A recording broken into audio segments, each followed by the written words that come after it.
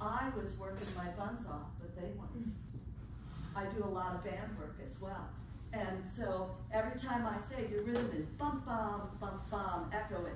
And then they pick up their horns and play it, but I never explained how it got there. That never went to the other direction to see if they could tell me what that rhythm was. I never checked. I was enabling them, I was not empowering them. So I changed my view after my first five years of teaching. When I realized my kids could take theory tests like crazy, do the circle of fifths. On fat cats go down and eat bagels, man, they had that stuff down. But they couldn't sing Come to Jesus in whole notes.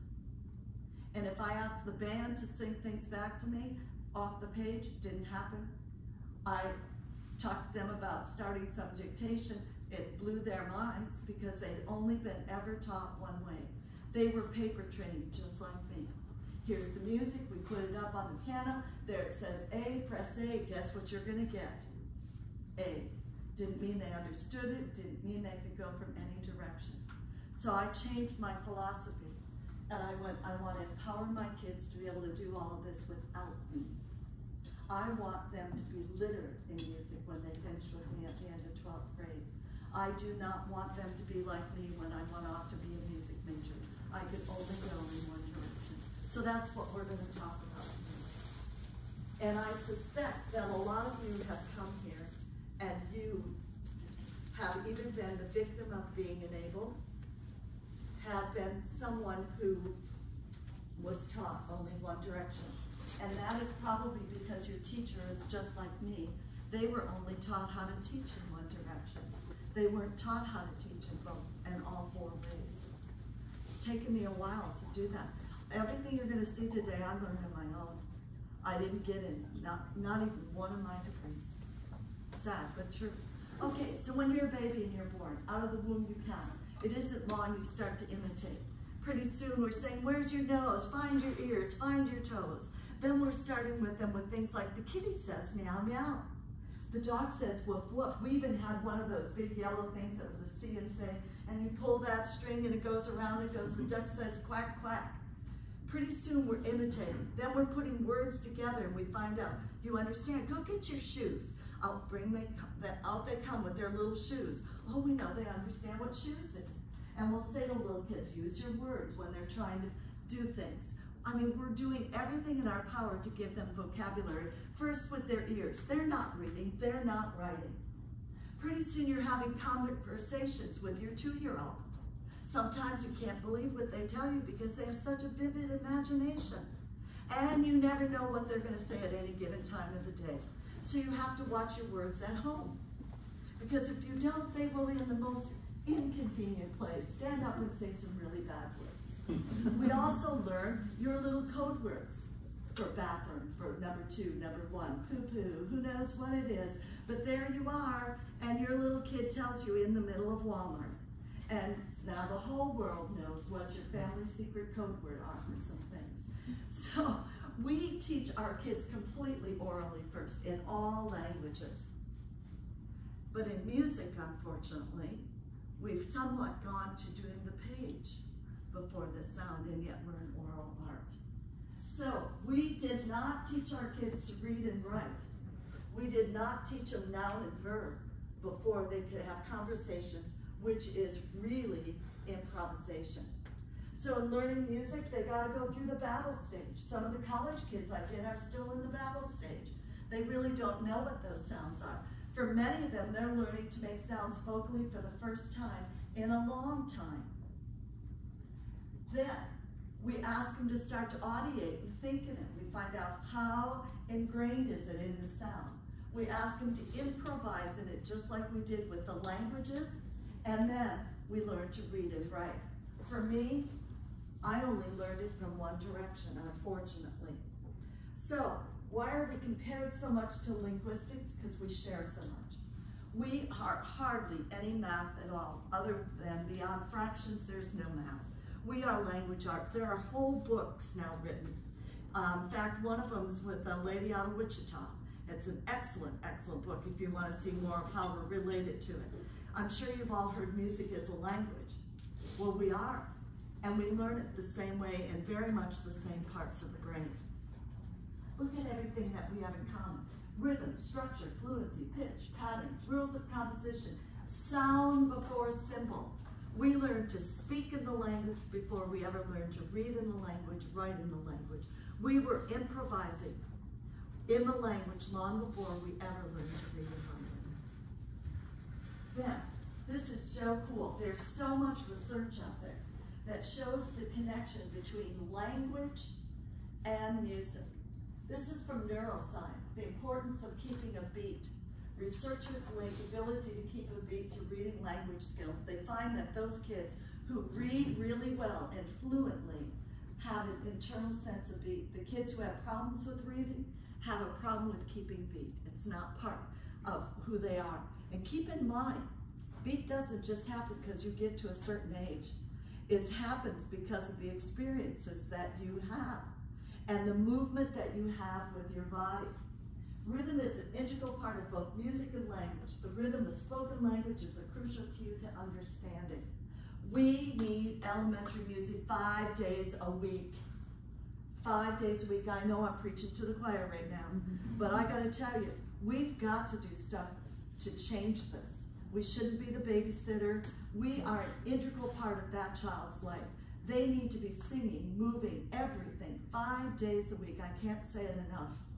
If they had it five days a week, when they came to middle school, we wouldn't have to go back and start at the bottom. In most cases, we do. Why?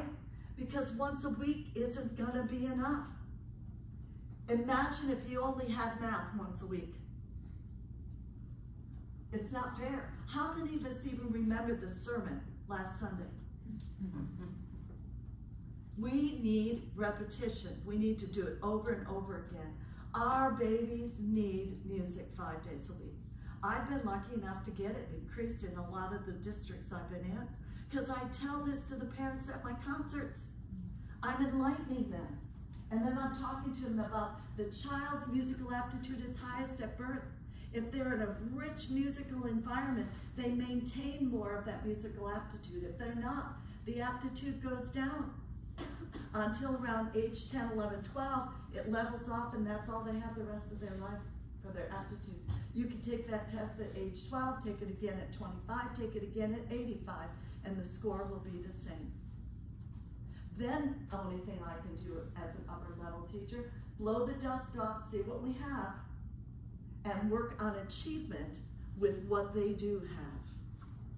And achievement is different. One is the hunger, and the other one is the achievement of using those skills and um, it's not talent based, it's taking that talent and now showing I can add and do all these things with it and I have a level of proficiency. Wow, I wish we could do it the other way. Let, let's take one step back real quick. How many of you in here are bilingual? Oh man, you are so lucky, so lucky. When did you learn your other language? Well, I have been taking English since a child, but mostly I really learned it when I moved here. Oh, where are you from? I'm from Brazil. Oh, from Brazil. So Portuguese? Yep. Ah, yes. Um, my Portuguese very limited. Yeah. Um, but in most cases, and so it was harder for her. When did you lose your learn yours? Uh, three years ago, and I'm from Brazil as well. Oh my gosh, that's awesome. Much harder to learn it as an adult. Who is the other one? Yes. Uh, junior high, through high school, So what's your uh, two languages? uh, English and French. Oh, and French. So where did you grow up? Here. Oh, so you took French just to learn the language. Most people who are bilingual learned it when they were little. And I hope that she will teach her kids both languages from birth on because it's a natural part of the process. So my dad spoke German till age seven. My mom was the only one in her country, in um, her family, who wasn't born in Norway. So my aunts and uncles, my mother spoke Norwegian. I don't speak a word. I can't even swear in Norwegian. It's really bad. Um, and that is because they talked amongst themselves about us. How I wish my parents, I could be fluent in German, and Norwegian and English. Because when do we learn languages the easiest? Birth to around age 12 or so. Much harder when you are older, by far. Wow. So, I wish we were like here, where almost everybody who's there knows more than one language. So what is music literacy? I've, I've used some words already. Well, it says that I have the ability to translate notation into vocal sound, which is reading. Notice it doesn't say sight reading. It says what? Reading. You either read or you don't read. Then it says sound into notation. That's notating or dictating. That means I should hear a piece on the radio and be able to write it down. Difficult, not an easy task. And then it says I should be able to express spontaneous musical ideas, which is improvisation. Like for a moment, she and I had a little bit of improv going here as we were chatting, and then same thing there. We were spontaneously understanding each other, communicating ideas, not just what came out of her mouth. So it is a beat bop to do wah. Yeah, that's scat singing, but you have to be able to tell me exactly what you did for improvisation to be real. If you can't tell me what you did, then it was by chance. And finally, I should be able to pick up that piece of music and hear it internally, completely with my ears. I should be able to walk onto my band podium, put out a new piece, and say, okay, everybody's hands are up, instruments are down. I want you to patch through this piece, and I want you to silently think this and sing this piece inside your head from beginning to end. We get to the end, hopefully we're all there together, pick up your horns, here we go. And there should be hardly any mistakes in it whatsoever. If they're truly audiating and they really know all the patterns in that piece of music. How exciting it would be to be a conductor when that happens. That's not what happens in most cases. We often pick music too hard for them, and they don't have the patterns. They don't hear the patterns. They don't necessarily even read the patterns correctly. We're asking them to do things that is out of their realm. So I'm going to pick on my friend Jason. Drove over from Kansas City today.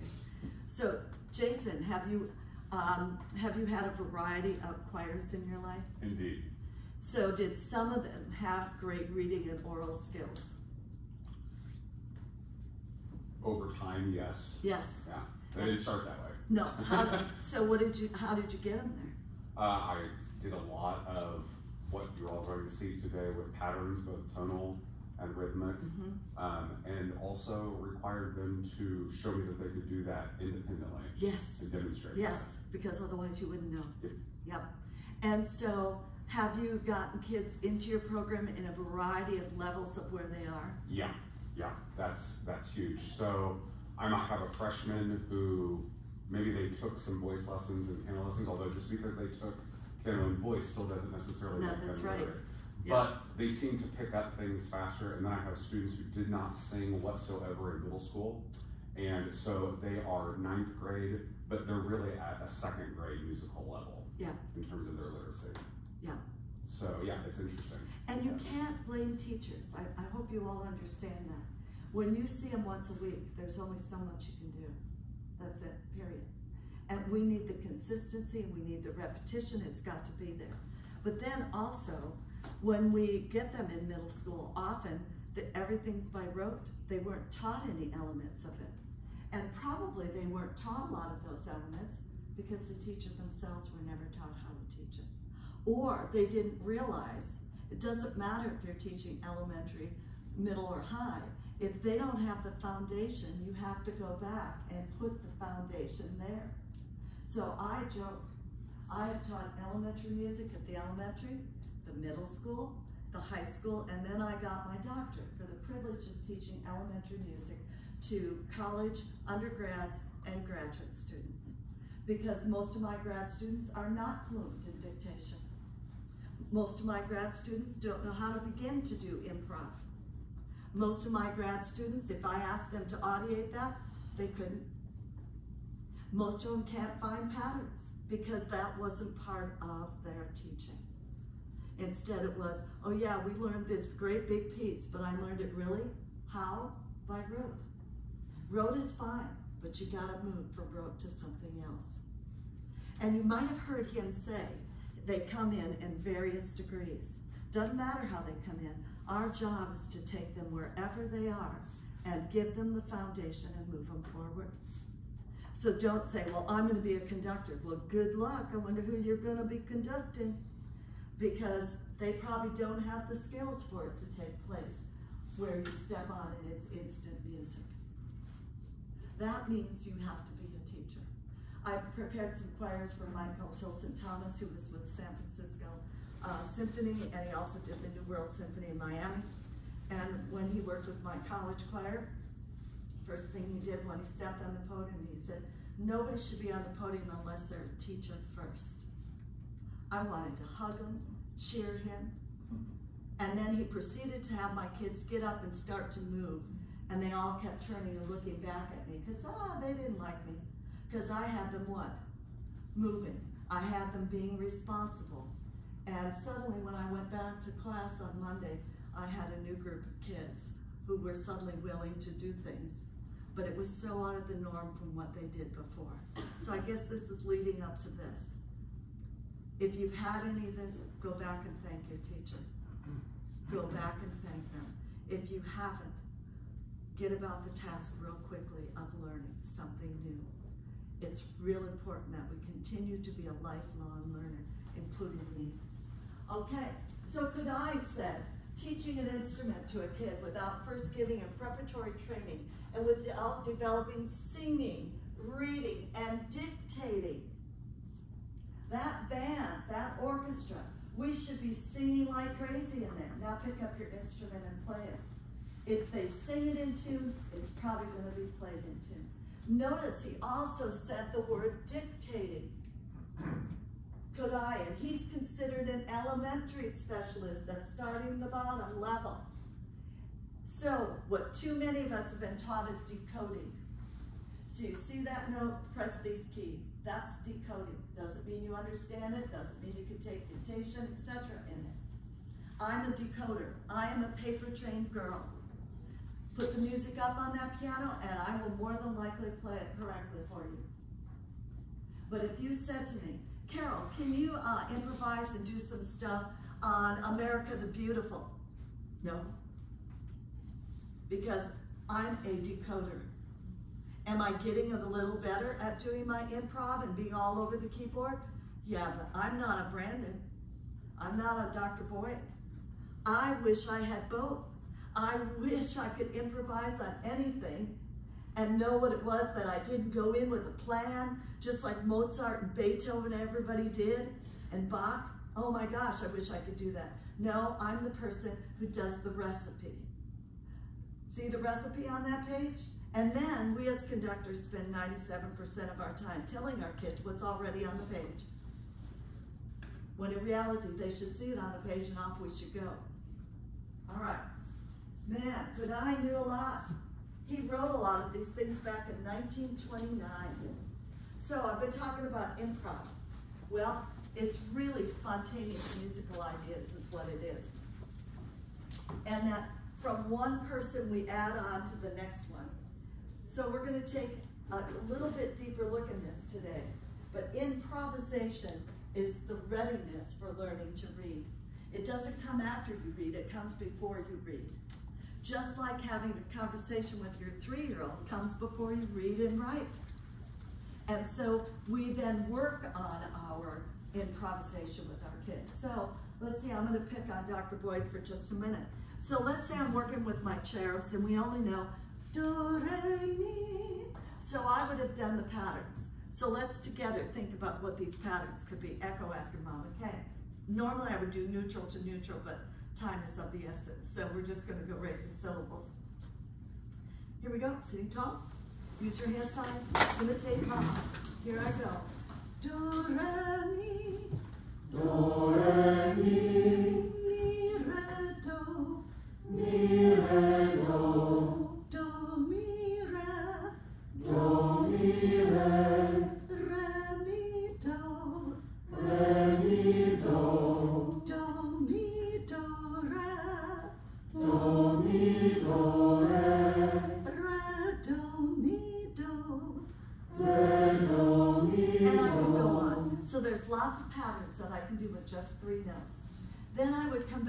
and sing it on a neutral and see how many could give it back to me. So here I go.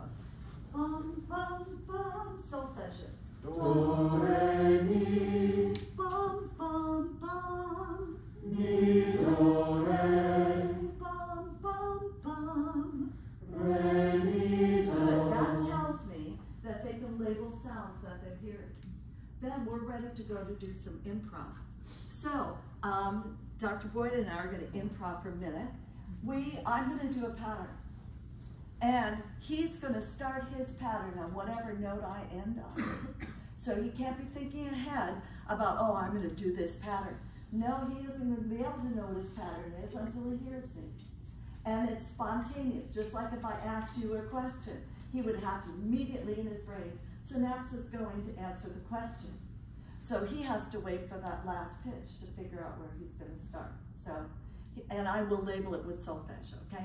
Here I go. Do, mi, re, Re, re, mi, re, re, do, mi, mi, do, mi, mi, re, do. do, mi, do. Do you see what we're doing? Now I'm gonna find out if he can sing any of those intervals. I'm gonna find out if he's correct on them, um, if he's accurate, and if he's not, is he ready to go to reading? No, it would be like him not knowing the difference between red and blue in the colors. Now I'm finding out what they know. If I'm an instrumentalist, I would also, in that process with you here, I would have also had you pick up your instrument after we've done some. Play it back to me, especially in brass. If you're in brass, oh my God, if you don't know where that that center is and you can't find it, man, life is gonna be tough for you because you have to hear those partials. Then we would move forward. We'd add mi, fa, and so. We'd add other things into it. And pretty soon, he's going to be able to do, he, he might even be walking around campus singing patterns. No, to get better at it. Because I did. I wasn't taught this way. I was paper trained. I was scared to death of having to sing things. And my voice didn't always listen to my head because I was afraid. I had to get over that. Driving the car, I'm practicing the one chord to the five mm-hmm. chord. Do, mi, so, fa, re, so, ti, do. Damn, girl, that was good. you know, because I couldn't have done that. Play it for you on my horn, play it on the piano. Yes, sing it. Oh, hell no. I'm sorry, I'm in church. But Lord knows what it was like. It was hell for me. It truly was. So do you see where we're going with this? And you have to say, let me take a good look at me. Where are my gaps?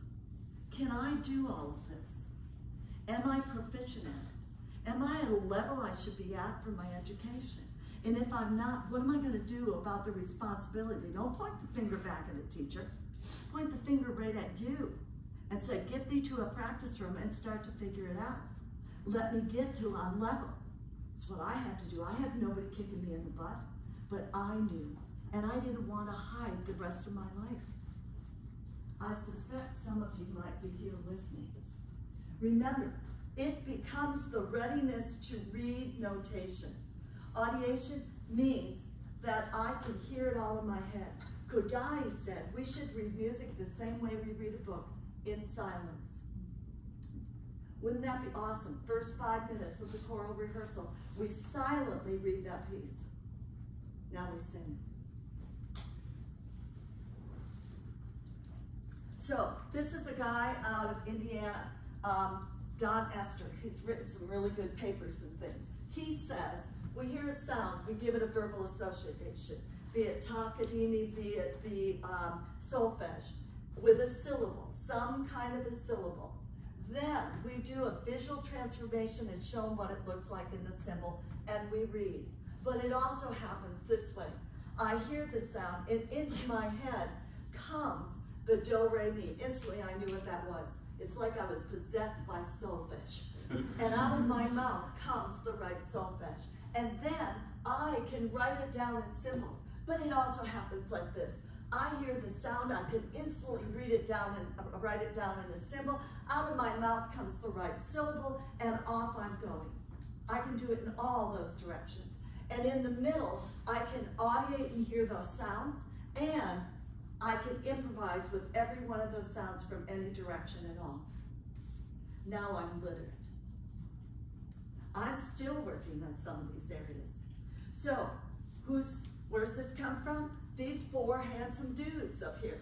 But it really starts with sound before sight before theory.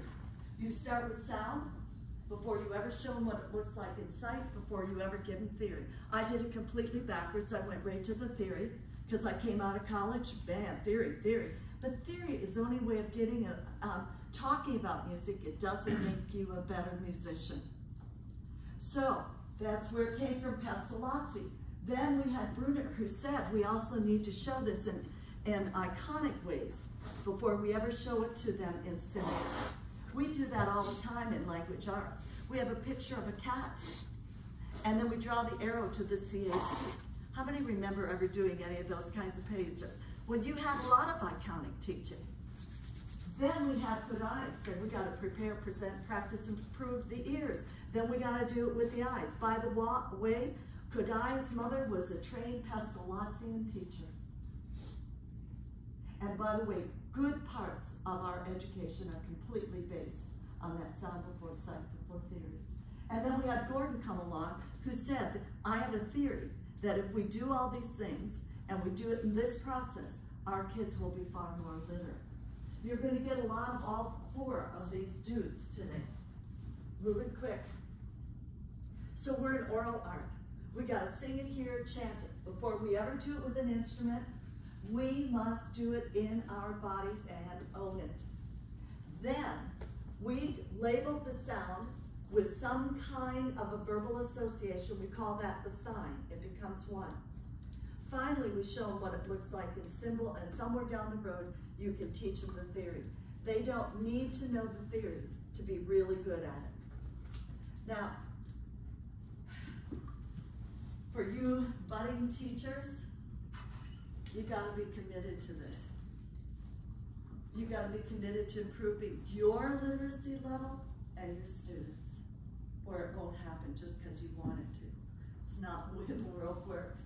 You gotta get excited about it. Notice that at nowhere up there have you been seeing the word sight reading.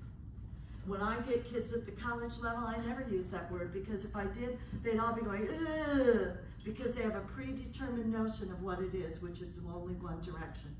No, we're learning to be literate in music. We're going to go all the directions with it. Finally, you got to believe they can do it because they can. In fact, it blows your mind when you see what some of them can do. I've seen sixth graders do the whole tone scale in four part canon, can do it from any direction because their ears are so incredible. And then I'm, I'm envious actually because my ears are old. And I wish I had the chance to go back and rebuild more of it. And then you gotta find the sequence. A lot of what you're gonna get is diatonically based since we're a diatonic society here in the United States. And I want that to be usable from K through collegiate. And I want that they see it in elementary, general, instrumental, orchestral, choral. I want that they can see it in all the methods courses at the college. I want them to see it in action in all the rehearsals for the ensembles. No, the piano's not gonna play it for you. No, I'm not gonna sing you that rhythm. Sorry, brass section. Let's take it apart and do it with our ears and layer it out. And now let me do some rhythms and see if you can give it back to me on um, by translating. If I'm on a neutral, you give it back to me on the labels. Then I know that you can hear a sound and label it. So how did you learn a lot of your sounds? I'll bet you guys know the difference between a train horn, a car horn, and a 18-wheeler horn. How did you learn that? Because somebody labeled it for you.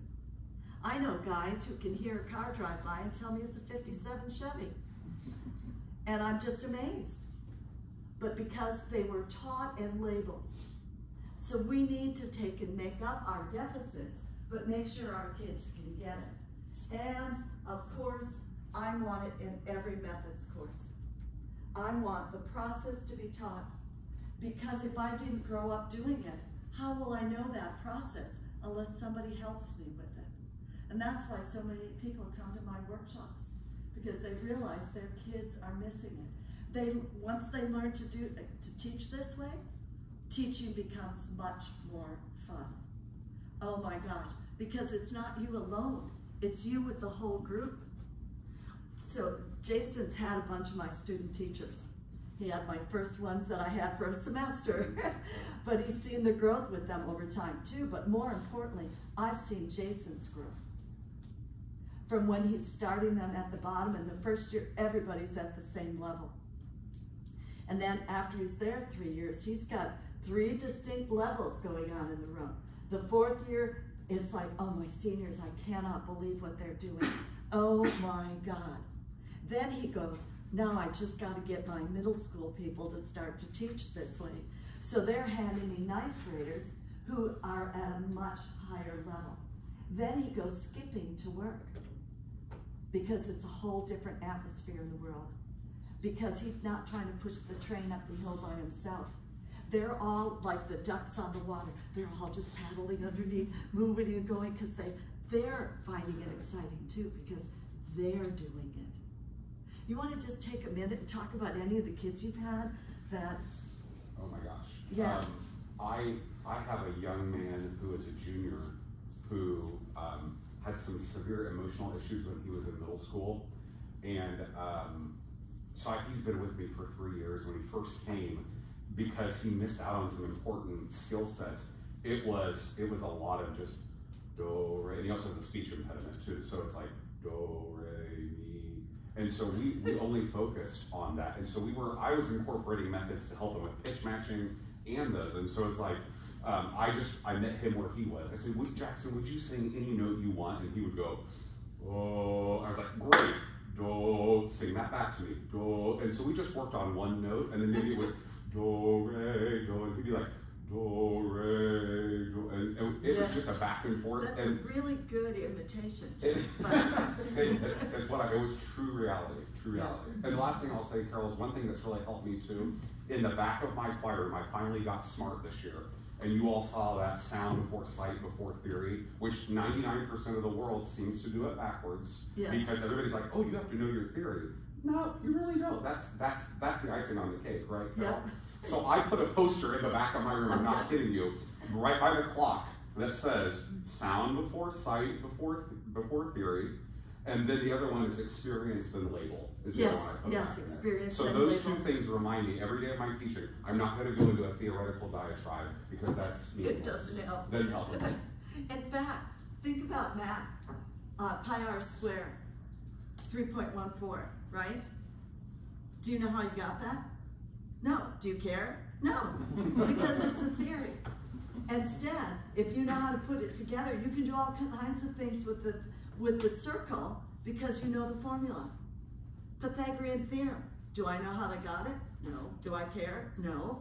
And guess what? Most of your math teachers can't tell you either. It's how to use it. Music is doing. Yeah. Yes. Unfortunately, this is most choirs for me. Yeah. So, we're gonna go really quickly into some movement and fun stuff. So what do I do with my crazy characters? I teach them a ton of road songs, all on a neutral syllable, no text. Because if I use text, they're thinking about the words, not listening to what's happening with the rhythm or the tonal part of it. I'm gonna do a ton of movement with them, all kinds, for meter, for longs and shorts of rhythms, uh, for uh, all the beat functions, uh, beat, divided beat, subdivided beat, everything. I'm gonna label it, label it, label it, label it, experience it, label it, experience it, label it. So we're about to experience it. Then, when they own that, I start doing the vocabulary like you saw me do with the do, re, mi. And finally, we move to showing them what it looks like in symbols. And frankly, if I only get through that first part in the first semester with my choir, I'm okay. Because they're gonna learn songs by rote so much quicker because their ears are working. They're gonna do things so fast. And then when I do go to the reading of it after a while, uh, it's like, oh, this is so easy. Yeah, because you actually know what the words are. You actually understand those sounds. It's such a simple process, but it's hard to do when you haven't been trained in it. So think of it this way, in the ears, out the mouth, in the ears, out the mouth. If I'm an instrumentalist, after we've done that, pick up your horn and play it to me. Now, do some more, in the ears, out the mouth. I will do a lot of whole songs, parts of songs. And when I'm teaching a rote song, I don't say, listen to my rote song. No, because they're not listening to you. Instead, I'll say, I want you to listen to this song, practice and feel the division of the beat. And when you hear a part of the song that has a sound on the down and a sound on the up, I want you to stand up. Or it might be longer tones that I ask you. When you hear longer tones, stand up. I'm not going to label them as quarter note and half note. I'm going to be using terms that hopefully they already know from other experiences in their life. And we're going to then teach micro, macro, meter, beat function, all kinds of cool stuff. Well, if I'm elementary, I'm doing this with my kids. I love this. And it, when I eventually can get my high school kids to do free movement, which is hard to get them to do, mm-hmm. I go there. So, first of all, on your toes. Here we go. Stand. Took too long here. All right, so first I want you to march. All right, so is everybody marching? Well, we have learned that marching is overrated, unfortunately. We find that so many kids who've been in a marching band for years and years can't keep beat. In fact, you can look at the marching band and you'll see the kid who's not on the beat. And that is because beat is really internalized by using the vestibular system in your inner ear. So put your arms up like this, first position ballet. Spread those feet apart just a little bit. You're gonna do the heel march where you lift only your heel. Move your arms, please. Here we go. Beat, So it's gonna be ta, ta. Join me. Ta, ta, ta, ta. Good. You can also try it this way. Rock back and forth. Ta, ta. Join me. Ta, ta, ta, ta. Good. I hear some of you doing this. Ta, ta, ta. That's not the beat. That's not the full length. You're actually giving me a dotted eighth with a 16th rest. Make sure it goes from one icti to the next icti. Join me. And ta, ta, ta. Good, good. That's really good. And by the way, it's not too metronomic. Thank you very much for that. Because we realize there's, if I had four of those tas, I could do it several different ways. Put your hand up, please, like this. You're going to do a forward sweep with your hand. We're going to go ta, ta, ta. So one to two, got it? And ta, ta, ta, ta. Now this time get me to three. And ta, ta, ta, ta. Notice my hand is moving at all times because my breath is moving. It's forward momentum of the line. My thumb is not stuck out. My fingers aren't spread because I want a nice round, warm tone for my ensemble. This time you're going to make three go four. Ready? And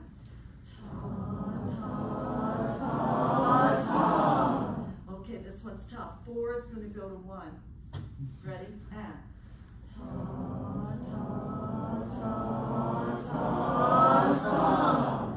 Wow, what I would give for my band not to go. Well, the only reason they go that way is because I didn't correct it and show them all the ways I, that we could do those simple notes, right? All right, so, okay, marching doesn't do it for you. Still teach them how to march, but know that it's not going to help internalize beat. Practice it again. Feel this. And I use a lot of first position ballet with my kids. Go to the other direction and ask them to switch back and forth. This one um, makes me ill, so I'm not doing it. Next thing, clapping. I used to have to clap the rhythm. And what, for long notes, we would do things like this. Yeah, do you hear that long note? Well, it has to be made with the body. Has to have sound with it. So realize clapping is overrated. Probably the only thing it's good for is attack. And I have all kinds of the things where you'll find some of this. If you want even more research on it, let me know. I'll be happy to share that with you. So clapping is not a good way to do it. it needs to be done. In the ear, out the what? Mouth. Mouth, not with the hands. Okay, good, good, good. You guys are doing great. Now, the Heel march, remember how to do that. Lift only your heels, needs to be silent. Good, let's take a look at simple meter. Let's start first with our big beat.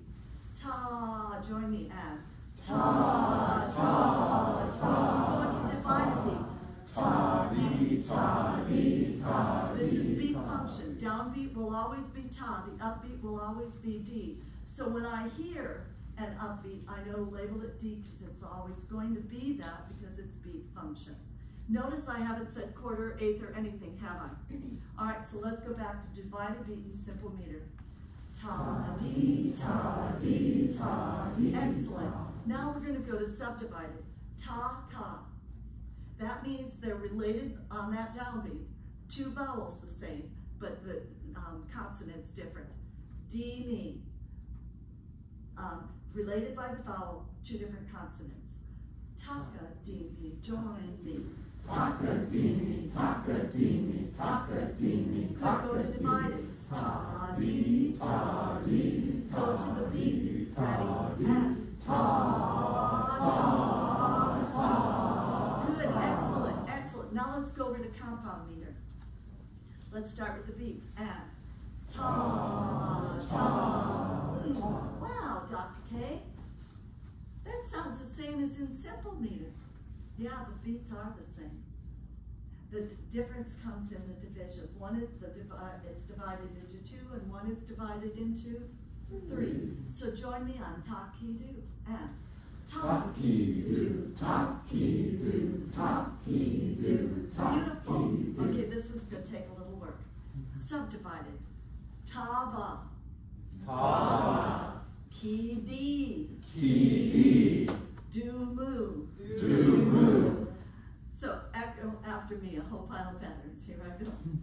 Tava ki do, Ta, ki, do, ta ki do, ta, ki, do, ta ki do mu, ta, ki, do, mu. tava ki do, Ta, ki, do, ta ki do. Uh, oh, sorry. Ta ki do mu, ta, ki, do, mu. tava ki do mu, Ta, ki, do, mu. tava ki do mu. Ta, ki, do, mu. Good. How many hear that D in there? Mm-hmm. Do you know that that lines up with the D in simple meter? And this system allows you to do polymetric. It's the only system out there that does. And it allows you to have one group in simple meter and one group in compound meter and it still all lines up. Brilliant, brilliant. Okay, then do you see that thing that says borrowed beat? Well, Mama Kay didn't know what that mm-hmm. was till I wrote my first book and I had 30 theorists look at it and sent me back a nice little note that said, yo. that, by the way, is called borrowed beat, and I didn't know that. So if I'm in simple meter and I'm doing ta-di or taka-di-mi, taka-di-mi, when I have a three over note, it's called a triplet. But it's actually referred to as borrowed beat because it's borrowed from compound meter where the beat is divided into three. And if I'm in compound meter and I see a two over note, we call it a duplet. But guess where it's borrowed from? Simple meter. So now, I don't know how many of you learned something new. I was very old when I learned this, but um, it's called what? Borrowed beats. Look at that, look at that. Awesome, awesome. Good. Now, what am I gonna do when I have a kid who's going up instead of down?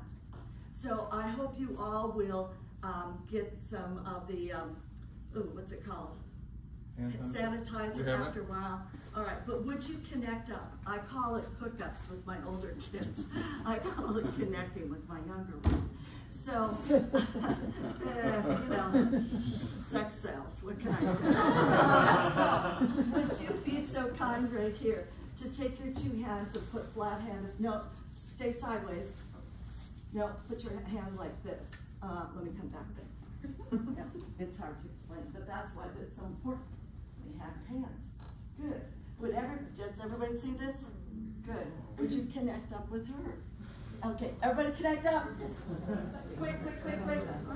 Good, connecting up, I love it. And if you don't want to, it's fine, it's fine. All right, so now we're gonna take a breath. And we're gonna, the breath is up here, our prep is up here. We're gonna come in on Taz down here and you're gonna echo after Mama K. All right, so here I go, it's my turn first. Ta. Don't join me with the movement. Ready? Here I go. Ta, ta, dee, ta, dee, ta. Ta, ta, dee, ta, dee, Listen to that again. Ta, ta, dee, ta, dee, ta. Ta, ta, dee, ta, dee, ta. Ta, ta, dee, ta, ta, dee. Ta, ta, dee, Good. Now, will we do a couple of these? Would a couple of you be my special learners? And when everybody is going down, you go up. And then the people around you, you know, grip them into like more of a hand thing and get them to feel it. Because often it's because they do not feel the difference between the down and the up. Are you ready? Here we go. Mama K starts, and you start with me. Here I go. Bum, bum, bum, bum, bum, bum. Grab their hands.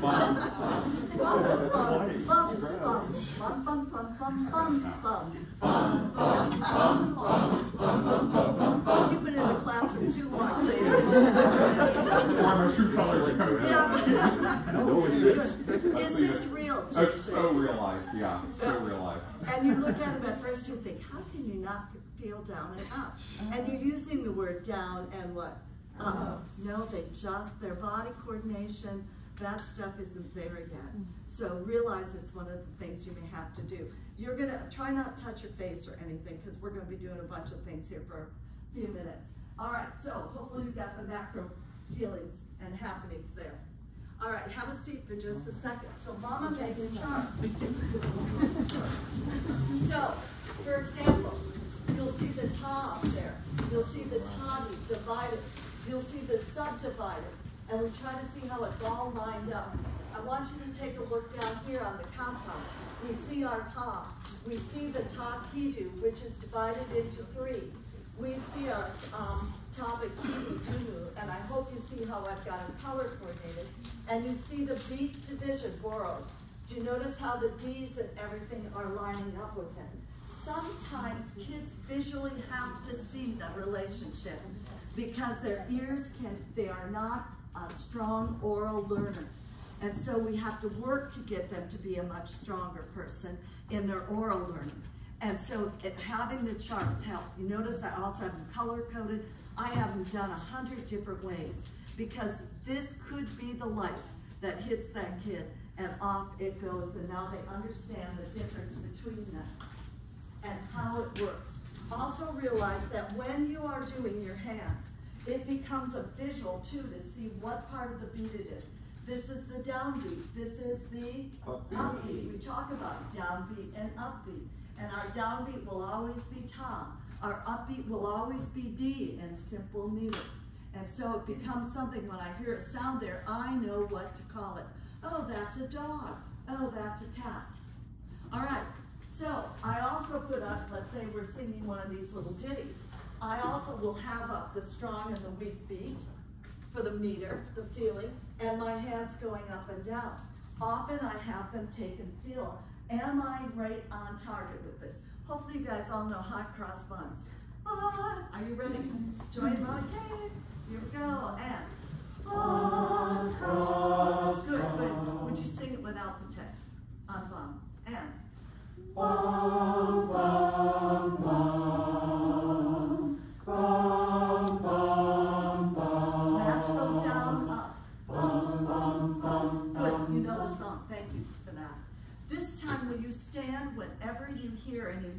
Elongated beat? That means a beat that is longer than just one, that we're holding a note longer than just one beat. Are you ready? Rock and roll, and. You should be up, down, sitting. Good. Oh, there they go, good. Good, you got the idea. This time, when you hear divided beat, that means there will be a sound on the bottom and a dip and a sound on the top. When you hear a divided beat, will you stand? Ready, and. bum, bum, There's that elongated. Good.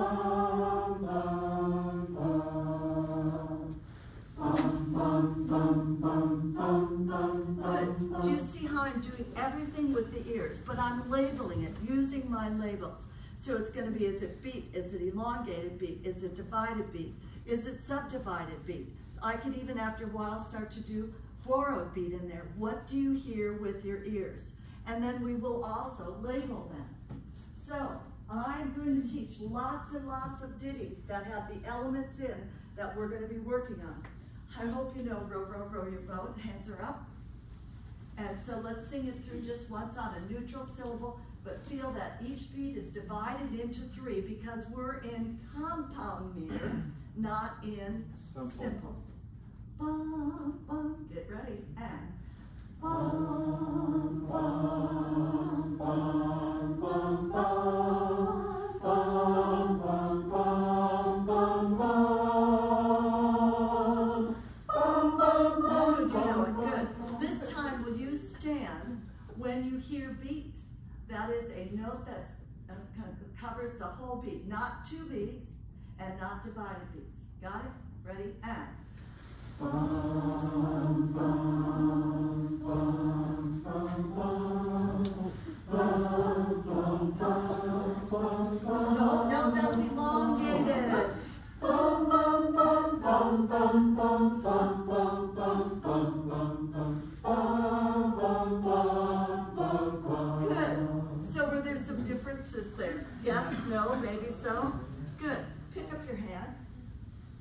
I want you to sing that song using the words long and short.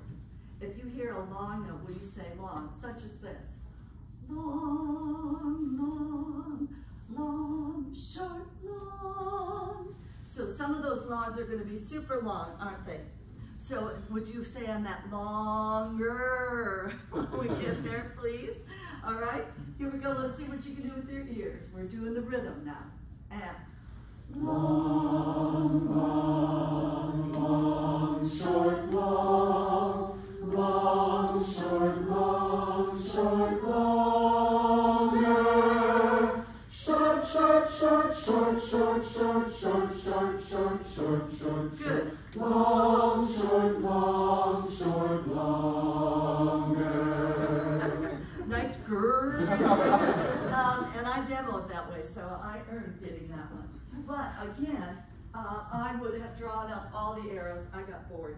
So um, you'll have to just think of it on your own. Now, you're going to get balls. Only we don't call these balls because otherwise you get Snickers all over the classroom. And yes, they are also blue balls. And so, thank you for the teacher back there who's been in real life. Uh, appreciate it. You can, these are racquet balls, and they are um, the best thing to buy because they fit in most people's hands. They keep their bounce for years. Some of mine are over 10 years old. And you can buy them in red, by the way, too. You can find them online in red. They work really, really well. They're easy to clean, uh, things of that nature. So here come the balls. We may not have enough for every solitary person in the room. So the only other problem I have is you need to get new ones back. So can you try to give yours to people that will give you back their balls? The trustworthy people, you mean? Because you don't want my old ones. So, here we go, right here. Let's do it half of the, if you don't go on that side of the room and I'll just get these people with. Okay, well, I'm here. Take a ball, pass it down.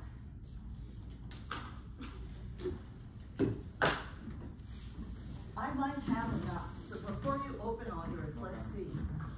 Will you take one and pass it down? Let's see. I'll go here. Would you take one and pass it down?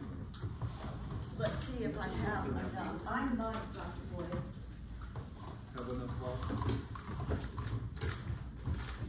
Oh, they are so like kids. Oh my God.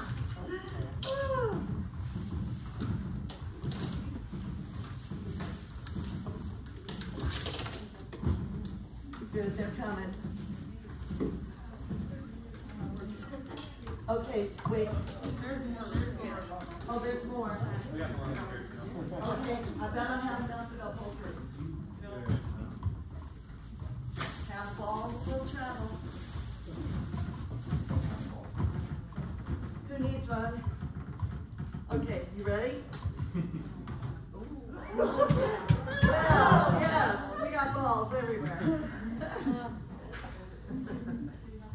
and I'll have, just hang on to that because we'll eventually get them back in. Is there anyone without a ball? Everybody has a ball? Look at that, I have three left over. Oh my God, and he ran to every store in, in, in your city yesterday. All right, so, thank you. And, so we're gonna start with, this is your catch position, all right? So this is your catch, this is your tabletop. So it will look like this, don't do a thing. Catch and pass, and catch and pass. Right now, just practice for yourself. It will be in your right hand, right hand, so go. Catch and pass, and catch and pass. And you try to make it as noiseless as you possibly can. Now what I need you to do is to make circles. So, let me think, how many minutes do I have? Let's take about another 10, 15. Okay, and so let's go in that other room The choir room. right as fast as you can go. We're gonna go in the choir room. Emily, when we get in there, let's just push the chairs to the side and then, uh, Quick, quick, quick, I'm old. I could die at any minute. That's like on me though. And make circles when you get in there, circles of about eight people in each circle. And off they go. They're such sweet kids, oh my gosh. Isn't this awesome? Yep. So good.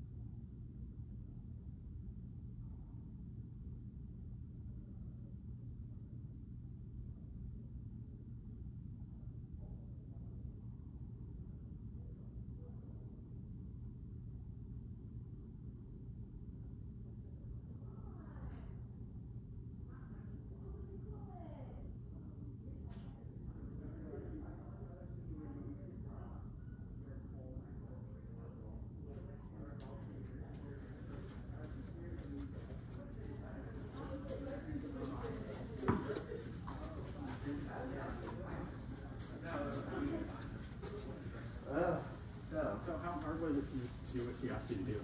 Um, not hard at all. I excel at following directions. Gotcha. So, in fact, he's musically excellent in his skill.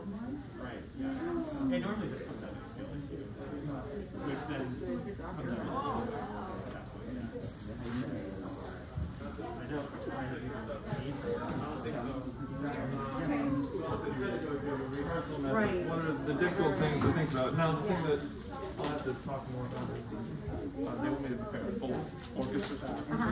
Um, and I, I know you just did four hands, but I don't know if you've ever done the orchestral score. I'm gonna talk with Crab about it. You say wrote four notes, he said. Okay. And I'm gonna have a conversation with Crab too, so. Any sort of insight you have into it. So.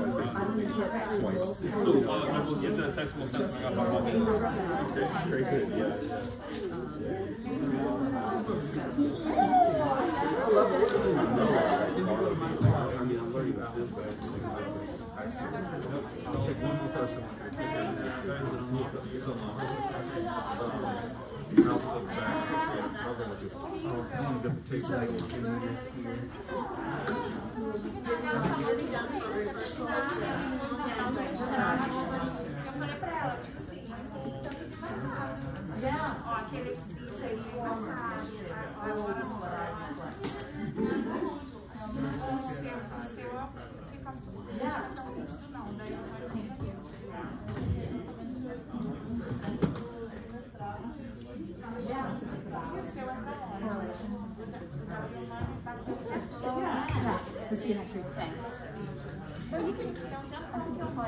Just leave it. Oh, I grabbed it from the choir room, so I was just gonna put it back in there. Okay. Happy birthday to your daughter. Oh, thanks. Now, how would you feel? Because if we don't turn you into those, um, problem solvers and send you out with all of that, a lot of armor already, you get out there and it's your heart, it's just not always the best. Yes.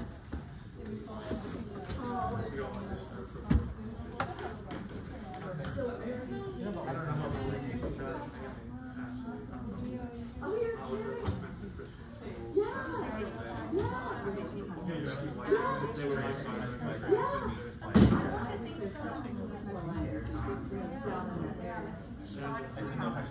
Aí ela mudou aqui na Yes, I did. Botei no Facebook. Aí ela botou um ódio, compartilhou um assim, drama, Assim, mas sabe? Que a graduação faz com a gente. Isso, e não sei o que, você não vai vir, essas coisas. É, vista, é, cabeça cansada, emocional, psicológico.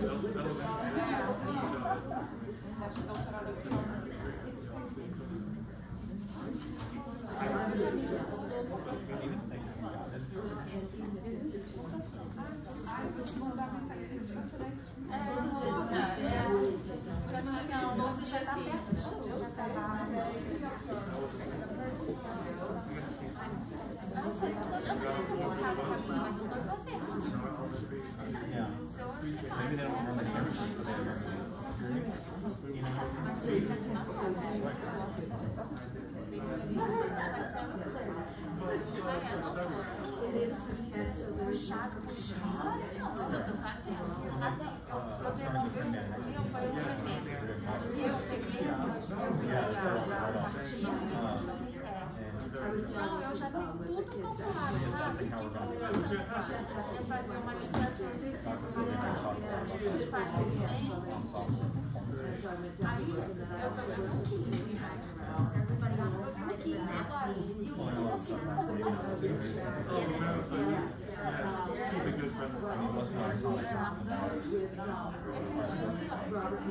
Esse dia aqui, ó. Esse dia para escrever quatro. Eu acho que essa escola. Eu.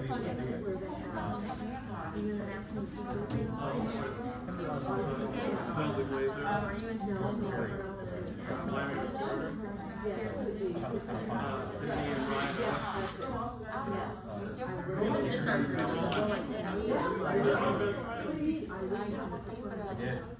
I hammered. Forget her last name. Uh, I know it's hard. Well, see, She's there. I started. Uh, same person as Joe.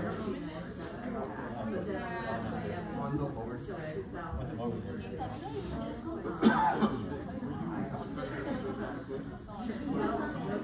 Yeah. Yeah.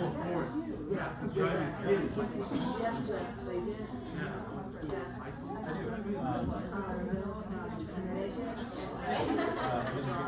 And then Yes, it yes. says, and the negative for Yeah, that it's such a connection. Very excited about prospects for next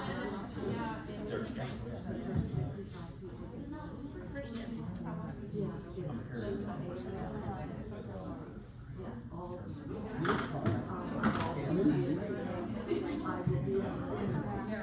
them.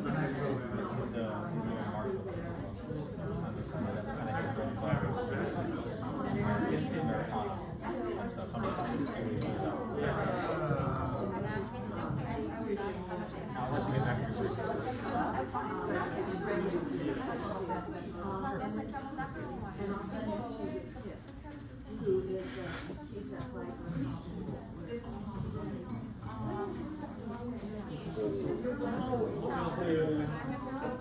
Your signature's right there.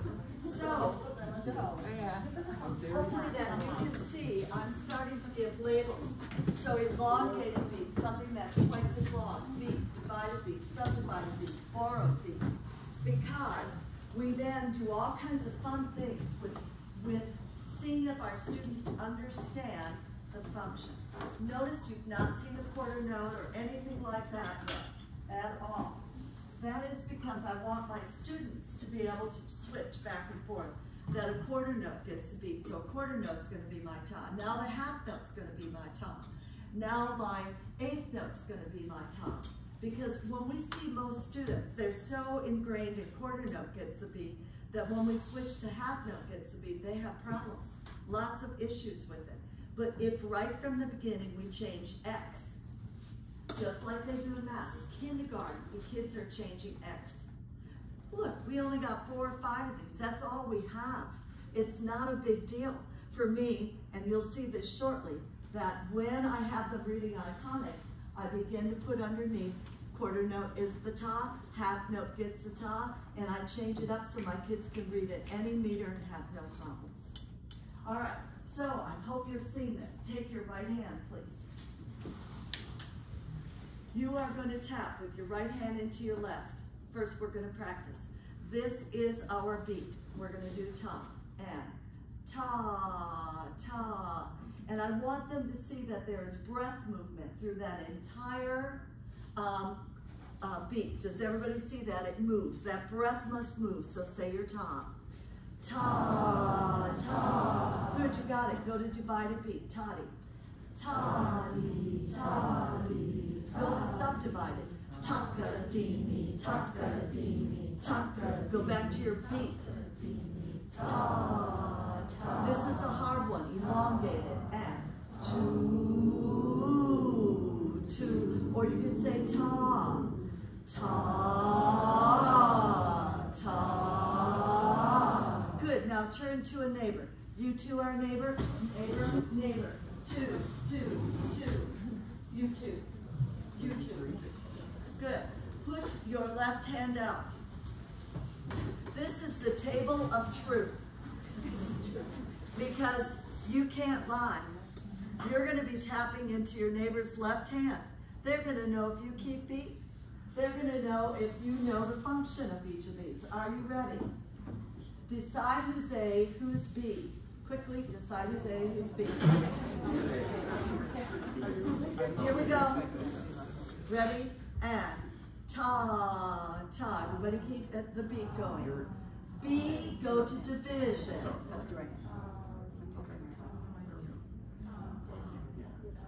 A, go to elongated. Keep that hand moving. Don't let there be a thing in between to show me the other beat. Think inside your head on that one if you have to. Um, two sets of tani. All right, go back to the beat, everybody. Go.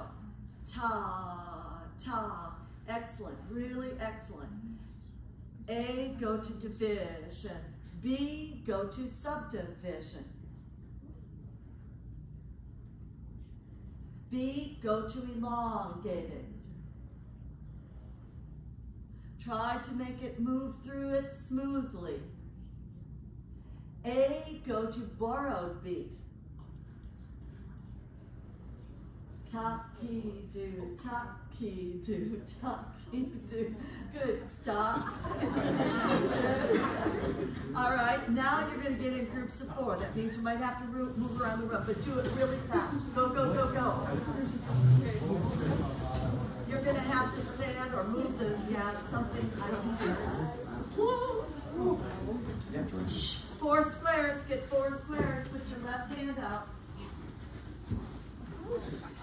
So if do I have anyone with just a two square? We have a three. You have a three square. All right, why don't you bring, I'm gonna send your two over to them. Oh my God, if I did that, I might crack my back. You. Okay, good, good. Everybody put your left hand out. You're gonna tap into your neighbor's left hand. Decide who's A, B, C, and D. D. A, or A, B, C, D. Good, here we go. Are you ready? Beat, beat, do your ta, ta, ta.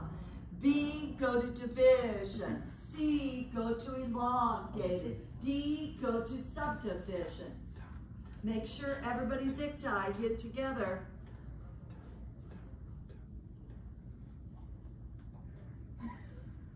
A, go to subdivision. D, go to the beat. C, go to divided beat. B, go to elongated.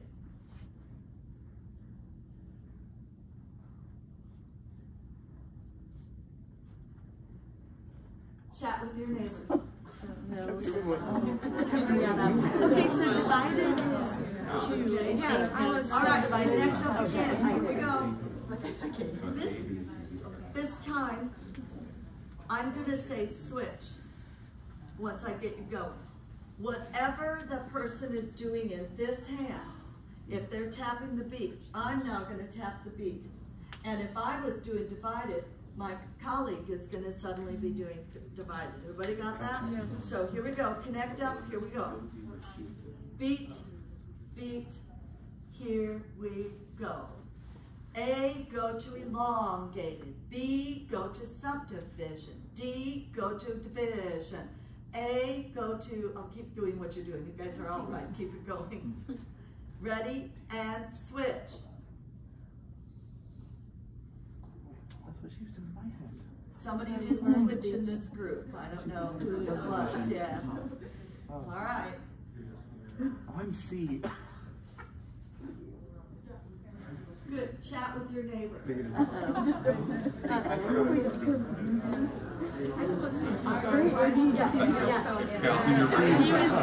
Yes. This time I'm gonna get you going. We are, and I do this in my choirs all the time. Everybody's connected. Uh, I mean, we're in circles or even in the rows, we can be connected. I mean, it's, it's just so important. You'll hear conductors say things like, um, feel the division underneath that beat. You're not keeping it moving forward. Well, you, there's nothing you can do in your conducting pattern to help them to feel under that half note. Ta-dee, ta-dee, boom. Making it moving forward with that phrasing. How many have heard directors say things like that? Even had you tap it on your shoulder or your neighbor's shoulders to try to get you to feel this forward, right? So this time I'm going to ask you to do things like that. This. If you're doing the divided beat, I'd like to see you do this. Toddy, toddy, ta-dee, ta-dee. So you're doing a crescendo forward and a decrescendo backwards over two beats. If I'm doing the half note or the elongate, all you can do is keep that movement. Don't let me see you go. Which I saw. So trying to keep it as smoothing that movement and inside my head, I am thinking what? Toddy, toddy. I'm really not thinking two. I'm really feeling that division. Everybody see what I'm doing? Mm-hmm. And if you've got subdivision, do a set forward and a set what? Back, okay. And I'm gonna say switch again. Here we go. Beat, beat. A, go to division. C, go to subdivision. D, go to elongated. Your C, your C. Oh, Ready and switch.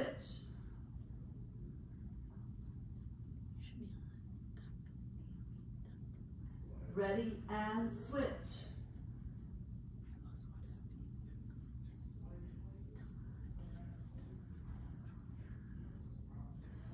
All right. Do you think it's going to become evident to you, the kids or your students who don't understand functions of beat? Do you think it will become evident to you, those who cannot feel divided and subdivided and elongated? It will. It will show you instantly. This is also something you do when you get kids in a room uh, and you have one of them that says, oh, I can do all this. This is so stupid. Well, great, you can be my partner and demo in front of the class with me. And then usually that's the end of that because they find out there's a lot more yet to learn. I don't care how much you read on that page, how much do you feel, how much do you hear, we've got a lot to go. All right, now we have not done compound meter. So would you be so kind, please, as to pick up your own hand? Let's start with our ta and ta, ta, divided and tucky do, tucky do, get ready, subdivided. Tabakidi doo, tabakidi doo, tabakidi doo. Go back to the beat. Ta, elongated and uh, two, two, two. Good. Find your partners. Here we go. And I'll slow the beat down a little bit because that subdivision in compound meter is tough. Here we go. Everybody starting with divided beat in your hand. Ready? And top, key, do, top, key, do. B, go to the subdivision. C, go to elongated. D, go to the beat. Ready? And a switch.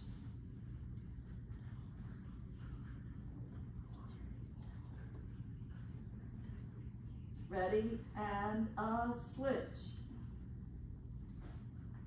And I just want to remind you, I didn't do two against three and three against four, which I should be doing, but I didn't.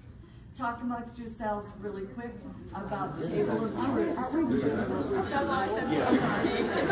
Like when she said switch, we start talking about the Yes, other but the person's divided, time. divided is the beat is the Okay. There's so many more things along this line, but I'm hoping you've got one new tool that you didn't have before. Please look up here as well. You can see my beats, my elongated, you can see my borrowed. I put these things up again because some kids are not aural learners and we need to make them better aural learners. But we also don't want them so frustrated, so go through their eyeballs with it to help them see exactly where they are. Learning terminology then allows me to go to any kind of meter signature and not have to talk about the note, but talk about the function, because it's the function that matters in every piece of music. And I can use all kinds of different notes to represent a piece of music. So then I just do more relationships. Here's one with four beats. Here's one in compound four. Great, now meter. So many times we hear beat done equally. Remember, a beat has the same length, but it shouldn't have the same strength. So right where you are with me, please, we're gonna do a meter of two, which is strong and weak, and strong and weak, and strong and weak. Now, beat should always be silent. We should never hear it on the legs or anything like that because it'll get faster and faster. So it's silent and cross the bar line. Sing hot cross buns on a neutral syllable, please. bum. Ready? And up. Bum, bum, bum, bum. Cross that bar. Bum, bum, bum, bum, bum, Good. How many noticed when you were doing the divided beat that you were doing a much better of crescendoing and crossing it? Bum, bum, bum. Ready? And.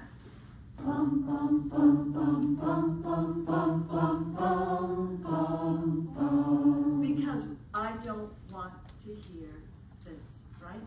Good, good. Let's go to three. Strong, weak, weak.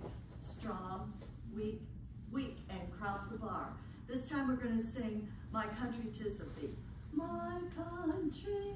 Are you ready? And go ahead and use the text if you wish. And. My country is of thee, sweet land of liberty, of thee I sing. How many heard the difference in your phrasing? Yes, and I gotta tell you, church on Sunday morning, I so want everybody to stand, put it in their heels. Now let's start to do this because what do I hear too often? Yes, yes. Four, strong, weak, semi-strong, weak. Strong, weak, semi-strong, weak. Everybody got it? We're gonna do, oh, view, but it starts on an anacrusis, so we're up here. Ready? And.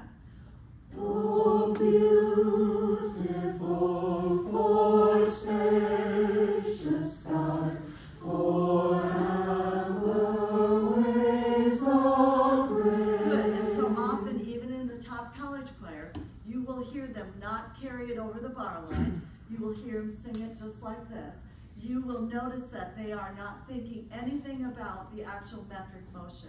I get everybody doing it. I even put them in, in pairs while we're doing it, or in groups of four. We're singing our piece, we're feeling where that meter helps us really move in that line. So it becomes more of an integral part of who they are. So we're gonna do one real quick just with a partner to demo what we can do with this. So can I use you two for a moment just as my, my demo people? All right, so what you're gonna do on this is on four, it's gonna be strong, we're gonna cross, weak, semi-strong, right here, like this, and then weak. So it's strong, weak, semi-strong, weak. Everybody got it? Find your partner. Here we go. Ready and go. Strong, weak, semi-strong, weak. Strong, weak, semi-strong. Good. Now we're going to start Oh Beautiful again. Crossed hands. Are you ready on your anacrusis? Oh, and Oh, beautiful for spacious skies, for strong,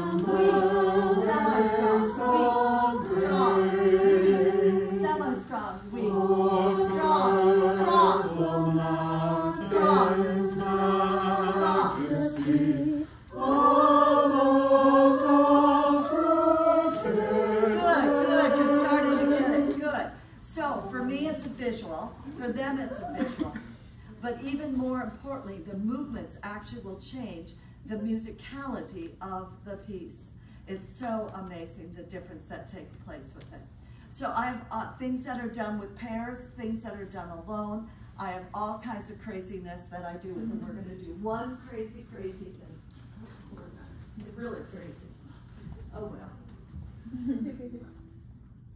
And I think you can see that uh, Duple, The Strong and the Weak, by uh, Rock My Baby, Twinkle Twinkle. I find all the little pieces that we've been working on in simple meter and compound meter.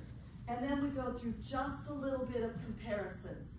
So uh, I might ask the class, so what's the same between quadruple simple and quadruple compound? What is the same between quadruple simple and quadruple compound? Anybody help me? What's the same? Four. There's four beats, yes. Of the, between the beat and the divided beat, which, um, so the same is that the beat remains the same. There's four beats in each of the grouping. What is different? the subdivision. The beat division. In simple meter, the beat division is into two. And in compound meter, it's into what? Three. How many of us, though, have really got this straight in our heads? And especially when we get to asymmetrical meter and things of that nature. So something to really think about. What's the same? What is different? Okay, so here it is. Get ready. We're gonna make the shortcut happen on this. So when you see the number one, it's a meter of one, which is strong, strong, strong. Join me, go. Strong, strong, strong. But that's no fun. So you're gonna go, yo, yo, ready, and go. Yo, yo, Good. Meter of two is strong, weak. Try it, go. Strong, weak. But that's no fun either. So you're gonna go butt cheeks. Ready, and go. butt cheeks. And your cheeks should be different size and have two different sounds. Good. Three. So you could go strong, weak, weak, right? But that's no fun either. So you're gonna go whack, beep, beep. Ready and go. Quack, Beep, beep. Good. Meter of four, you're gonna go find your partner and you're gonna go strong, weak, semi-strong, weak. Find your partner, go. Strong, weak, semi-strong, weak. Good. Now stop. Look. Listen. We are going to read across on each line. Notice the numbers change. So you've got to be able to see that line. Let's walk through the first line across the top. Beat, beat, rock and roll. Yo, cheeks. Quack, beep, beep. Strong, semi-strong, weak. Butt, Cheeks. Quack, beep, beep. Strong, weak, semi-strong, weak. Strong, weak. Yo, butt cheeks. Strong, weak, semi-strong, weak. Yo, butt cheeks. Quack, beep, beep. Beautifully done. Now, this is one group right here. This is another group over here. You're gonna do it in canon. So you're gonna start with yo, yo. Everybody got it? And we're picking up the tempo. Beat, beat, rock and roll. Yo, yo, cheeks, cheeks, quack, beep. Strong, weak, semi-strong, weak. Butt cheeks, quack, beep, beep. Strong, weak, semi-strong, weak. Yo, yo, beep, beep. Strong, weak, semi-strong, weak. Yo, yo, cheeks, strong, weak, semi-strong, weak. Yo, yo, cheeks, quack, beep, beep. Good. You think you're hot, I can tell. No, we're changing it up. You guys are going to, we're dividing you into two groups. Here's one group, oh, you'll be with that group. That's your partner? Yeah, mm-hmm. yeah, This group. You guys are the other group. Got it? All right, so here's the way it's gonna work. You're gonna start at the top and you're gonna go yo, yo. So you're in a two-part canon, okay? This side, sorry, but, but you, this group is gonna start at the bottom and you're gonna do a retrograde. So you're gonna start with quack, beep, beep, and you read every line backwards. You guys are the next group, so they're gonna go quack, quack, one beat apart, yes? And I'm gonna stay with you, because that's the hardest part. Shh. So I should hear a yo and a quack, and a yo and a quack. Good, here we go. Beat, beat, ready, and up. Yo, yo, cheeks, cheeks, quack, cheeks, strong, weak, semi-strong, weak, strong, butt, cheeks, cheeks, yo, cheeks,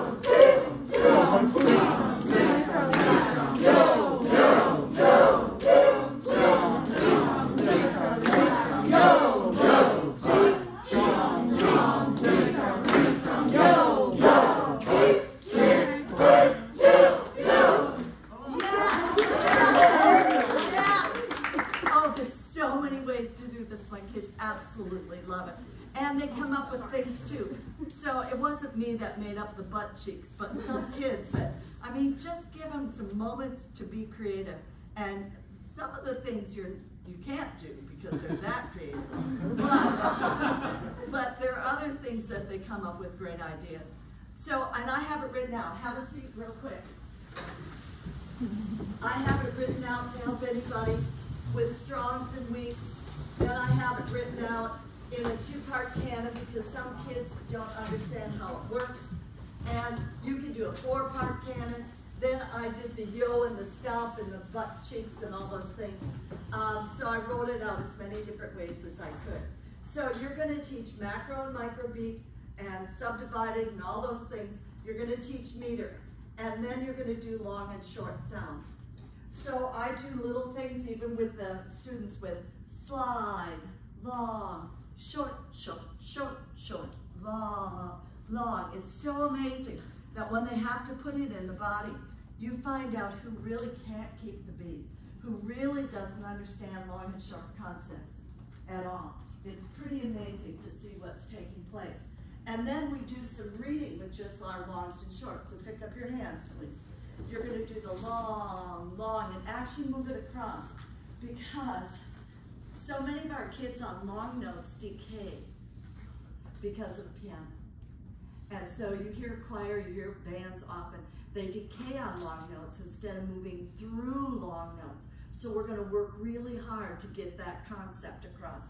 Would you say longs and shorts, please, here? Letter A. Ready? And um. Long, long, short, short, short, short, short, short, long, long, short, short, long, short, short, long, short, short. Good. Put your hands up. Now, turn to your partner. And this is the table of truth with longs and shorts. All right, everybody got it? Let me turn my thing to the next slide. This is compound meter. So this is going, and just echo after Mama K for a minute, I want to go over your patterns. So in your neighbor's hand, you're going to tap this. So echo after me. Here I go. Short, short, short. Short, short, short. Long, short. Long, short. Short, long. Short, long. Short, short, short, short, long. Short, short, short, short, long. Long, short, short, long. Long, short, short, long. Good, you're getting the idea of what we're gonna do, right? Good, put your eyes up on the board, please. Will you read all the longs and the shorts, doing it into your neighbor's hand? Here we go, ready, and read. Long, short, long, short, short, short, short, short, Don't rush it. short, long, short, long, long, short, short, long, short, short, short. You can also go four squares with this. I've also connected the whole choir up, the whole band up, um, and read the rhythms even in our piece of music doing shorts and longs and things, because you can see it. So many kids look at the notation and really don't understand what to do with it. This is going back and using Iconics. Bruner would be really happy with me because it's using things they already can see the difference between long and short. Does everybody understand that?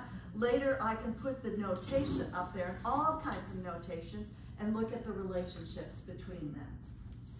All right, not only can you do some reading in this, but I can also um, say, I'm gonna perform one of these, A or B. Which one did I do? So now I'm finding out, do their ears and their eyes work together? Can they figure out the difference? Both in simple meter and compound meter.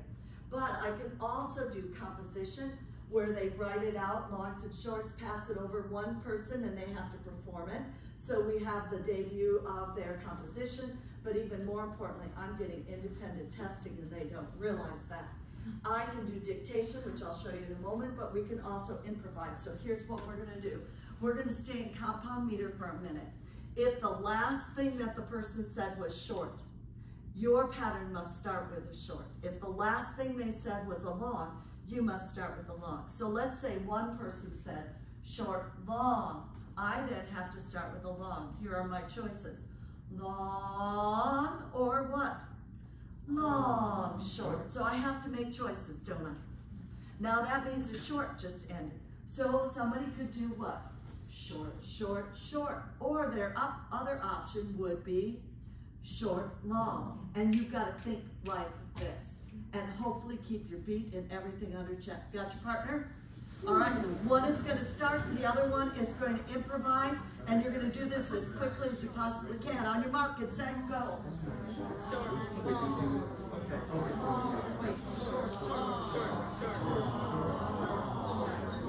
look, look you guys. Do you remember when I said to you that I've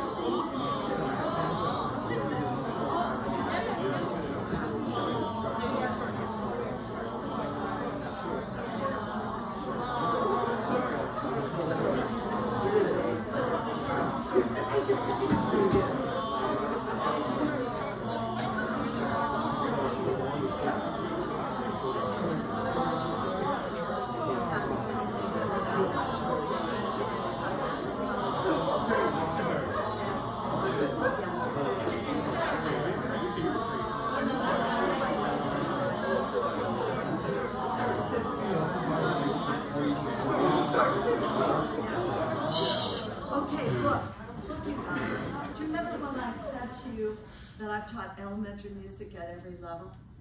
When I get college kids and they have deficiencies and gaps, just like I did when I went, it's my obligation to fix it and fill it up, Not to just say, take this music and go to the practice room and figure it out. They don't have the tools. What did I do to help give them the tools? And doing things like this brings to the front and helps kids, first of all, address it's okay to have weaknesses. Now let's fix them, right? And also, you gotta get away from, oh, I only wanna teach the top group. No, no. You learn by teaching from the bottom up and building that group to be the top group. But in too many cases, the top group's not very top. Hmm. Sorry to say that, but it's the truth. And I've been DCA at a lot of places. But if they don't have it, you can't just get mad or walk away. This is beneath me. No. Get your hands dirty and help them fix it. Remember, I've never met anybody who's pure and anybody who's got it all. We all have gaps. And right here watching it was interesting to see it. And I also saw cooperative learning and helping. And oh my gosh, this is so awesome. I'm gonna go home with my heart full today. Yeah. Now, yes, with my college kids too. I do these.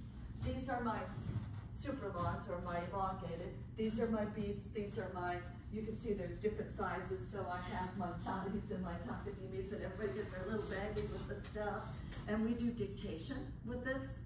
I do bum, bum, bum, bum, bum. And they would put what?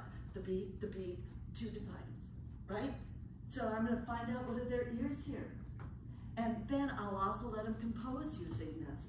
We find that whenever you give them any kind of a manipulative, immediately they become far more engaged. And so it doesn't matter to me if they're seniors in high, in high school or seniors in college. I'm going to ask them to use those manipulatives because somewhere they might be working with a church choir or a children's choir, or they might think they're going to be the top band director, but there aren't any openings that year. And the only thing that's open is an elementary. They might find out they love it. And the better they get at teaching elementary skills, if they someday want to move to a different age level, they're going to have a wealth of knowledge. Thank God for my Dr. Clemish. She was the only person I had who was really good at teaching methods, and I had her for elementary methods. And when I went out, I wanted to be the elementary teacher. I loved that class so much.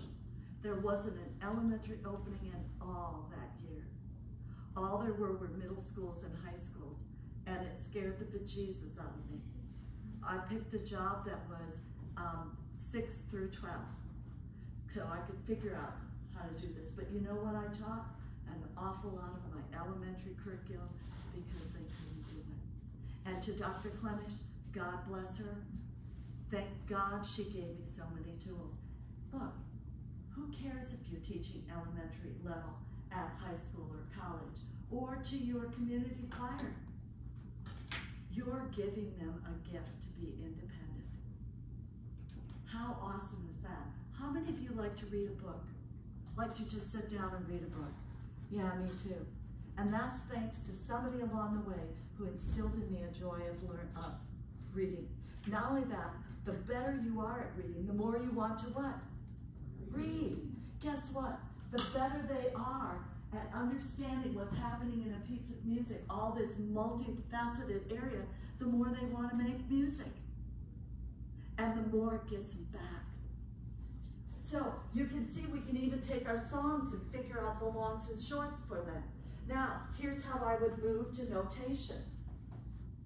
There's my longs, my shorts. So I put it up there as a quarter note as the beat. Then I put it up as the half note as the beat. Can you see that? And we talk this relationship all the time. There are two quarters and a half. How many eighths are in a quarter? Two, thank you. How many sixteenths are in an eighth? That's, that's the truth. It never changes no matter what of our, meter signatures are. Everybody understand that? But it is not the truth to say the quarter note gets one beat. And I say, no, not in this piece. It's half note gets the beat. And then they all go berserk in the room because they've never been made to really read the half note. I'm saying to you, whatever level you get them at, even lower elementary, you can have them put it up with different values because they're already doing it in math. And you don't have to raise your hand, but I can tell you reading in two was my nemesis for a while because I've been kept in the quarter note way too long.